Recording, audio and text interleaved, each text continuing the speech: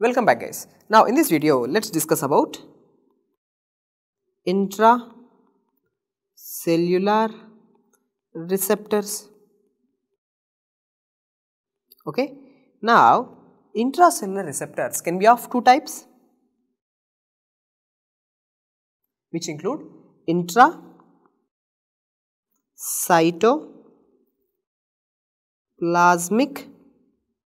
or the receptors which are present in the cytoplasm or it can be intra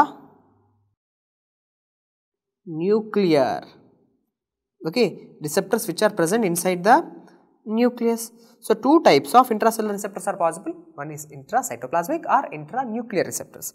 Now let's start with the intracytoplasmic receptors which you need to know. There are four important hormones which are using intracytoplasmic receptors they include adrenal hormones like mineralocorticoids including aldosterone. Guys, please concentrate. It's a sterone, aldosterone. It's a steroid hormone. As it's a steroid hormone, definitely it can cross the cell membrane. Aldosterone, it will cross the cell membrane. It will enters into the cell. It will enter into the cytoplasm. Inside the cytoplasm, yes, mineralocorticoid receptor is there or the aldosterone receptor is there in the cytoplasm cortisol okay and androgens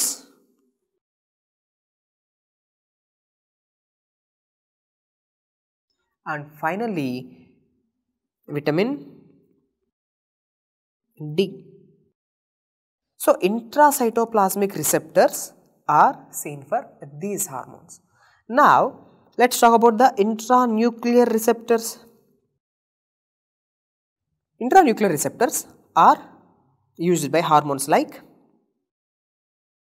sex with T3, T4. So, this is a mnemonic which I used to which I use for myself. So, sex steroids okay. So, sex steroids like estrogen and progesterone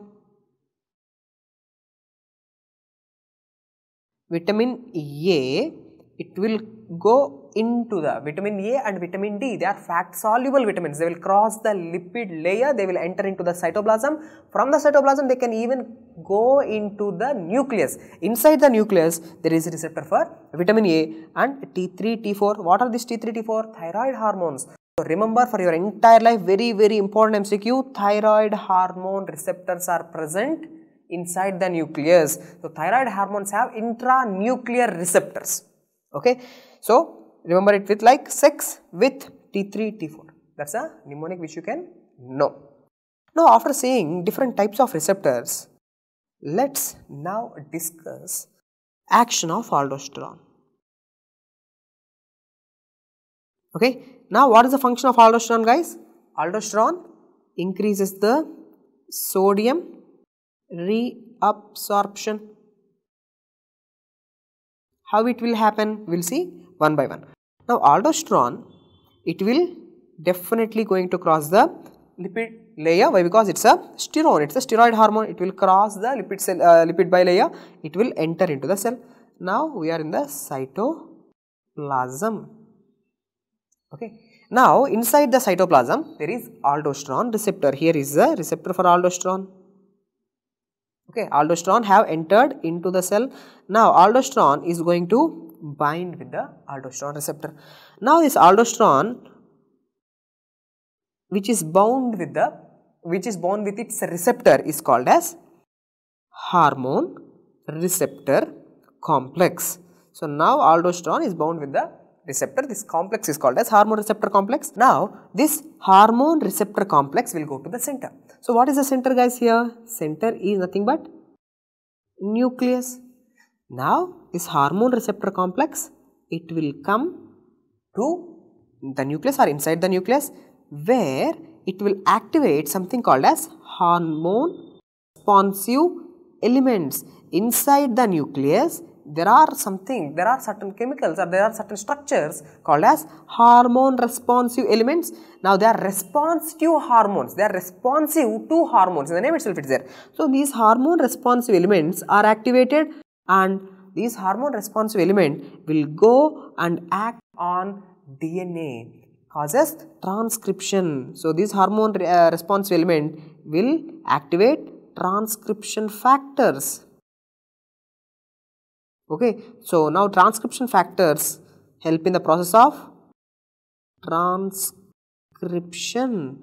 Now after transcription there is production of mRNA. Now this mRNA helps in the production of proteins.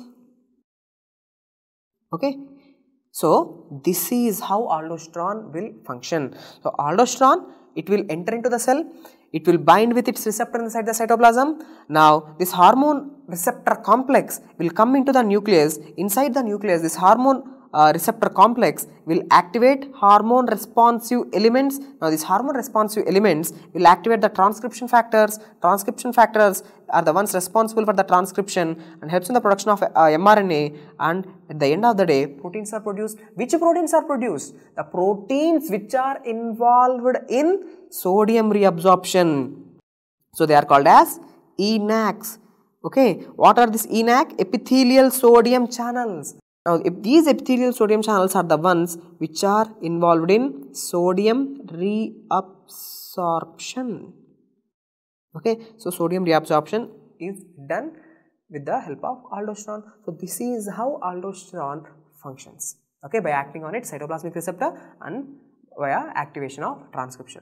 Okay guys, in this video the prime area which you need to know is the two different types of receptors. Intracellular receptors including intracytoplasmic as well as intranuclears. Okay, intranuclear receptors. If you know that, that will be more than enough for your exam. Hope the video is helpful. See you in the next video.